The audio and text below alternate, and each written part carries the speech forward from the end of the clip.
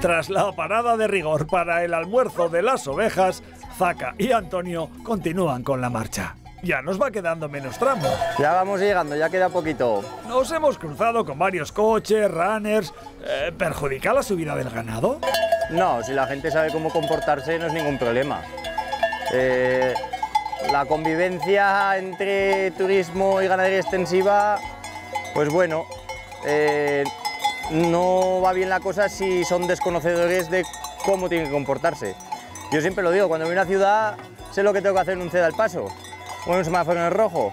Pues cuando viniera la gente de la ciudad a los pueblos o a la montaña, tienen que saber cómo comportarse con los animales, que siempre que haya animales el cedas pasos para, para, para ellos, que nos tienen que dar paso a nosotros, cómo comportarse con los mastines.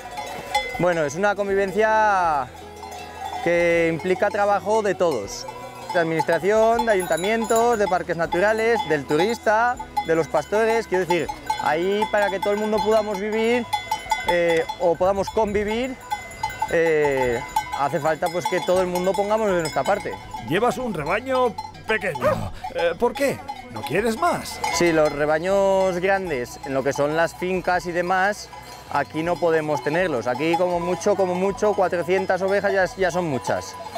Eh, ¿Por qué? Porque las fincas son chiquitinas, entonces para, porque hay portillos estrechos, hay caminos estrechos. Con un rebaño grande sería, sería imposible de poder, de poder pastarlo, de poder pasar sin peligros. Bueno, pues eso, de aquí tenemos que tener rebaños chiquitines.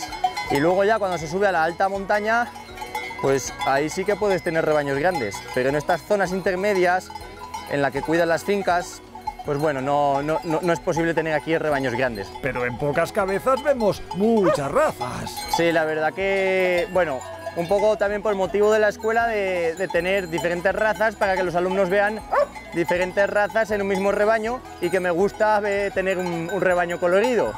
Entonces tenemos eh, dos razas autóctonas en peligro de extinción, que serían la churra tensina, las cuales hay cuatro, y otra es la, la venasquesa o venasquina, que sería esta oveja de aquí, ¿vale?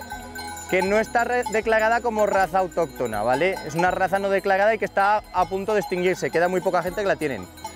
Eh, es una raza muy rústica, como todas las razas autóctonas, y la verdad que se defiende muy bien en el mal terreno. Después tenemos chisquetas, tenemos barbeguinas, hay alguna lacona, hay tarasconesa, eh, hay una merina. Y es curioso que algunas son paticortas. Bueno, lo que se dice siempre, pues las ovejas para la, la alta montaña, pata corta y mucha lana, porque tienen que caminar poco y combatir el frío. Y para la tierra baja necesitan mucha pata, porque tienen que caminar mucho, y, y poca lana, porque no tienen que combatir el frío tanto. Pues a seguir con el último empujoncito. Oh!